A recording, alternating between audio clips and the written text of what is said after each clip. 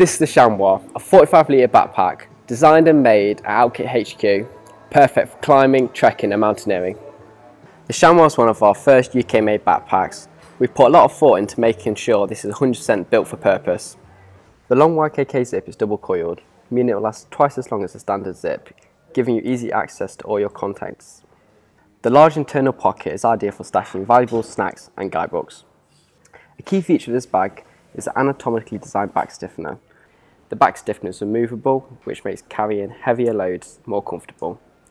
For the days you're not carrying your whole charge rack, four compression straps can be used to make your chamois even more compact, which is handy when you're trying to shed some weight.